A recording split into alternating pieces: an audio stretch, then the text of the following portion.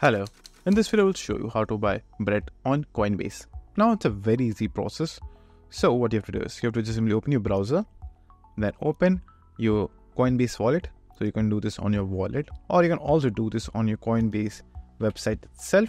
Both of them are similar. So you can just simply do this on any one of them. All you have to do is just simply open a decentralized exchange. Like for example, you can just simply go to any one of the DeFi over here.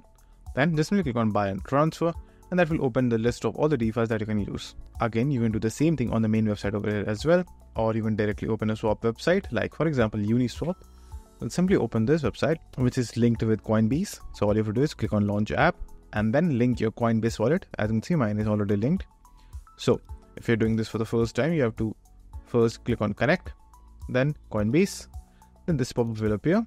Click on connect and that will link your wallets. Now, once your wallet is connected, what you have to do is you have to choose a crypto that you have in your wallet, like for example, Ethereum, USDT, or whatever crypto you have. Like for example, USDT. Then over here, you have to select token and search for Brett. After that, choose the first one. Over here, enter the amount of crypto that you want to buy. Like for example, I want to buy the crypto for 0.1 USDT and that will show you how much crypto you will be getting right over here. Over here, you can also see the amount.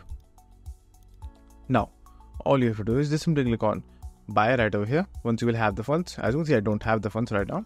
But if you have the funds, just simply click on convert or buy right over here. After that, just simply complete the payment process over here.